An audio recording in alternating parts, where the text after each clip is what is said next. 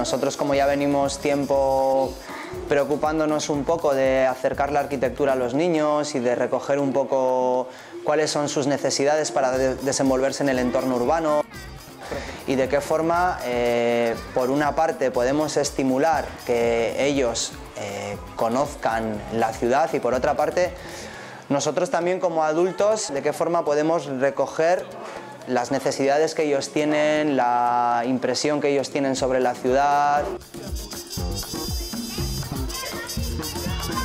Nuestro taller consistía un poco en, que los niños del barrio eh, empezaran a reconocer la arquitectura, ¿no? los elementos arquitectónicos de su barrio. Y ya les hemos planteado eh, el estudiar las necesidades que tiene el barrio.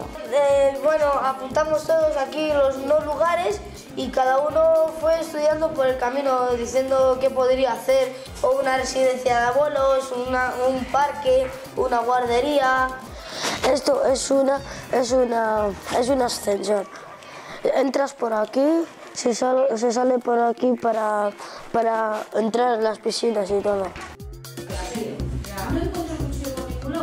Es como un callejón que he puesto una piscina y una piscina de bolas. Nos ha sorprendido bastante eh, la actitud que han tenido ellos, porque la mayoría de ellos han planteado juegos para niños más pequeños, porque ellos han entendido que en el barrio no hay esos espacios.